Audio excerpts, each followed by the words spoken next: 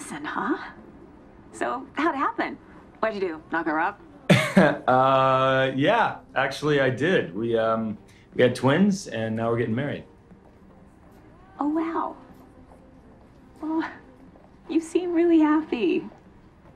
Thank you. Yeah, no, I am. I'm I'm thrilled. You know, she's uh, she balances me out. You know, and she's an excellent mother. It's wonderful.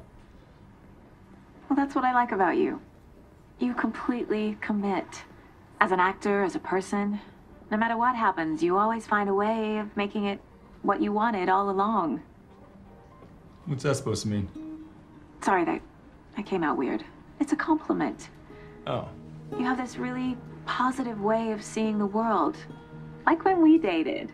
I mean, you could be craving pizza all day. But if I said I wanted sushi, boom, suddenly you're craving sushi. It's a really lovely quality. Okay.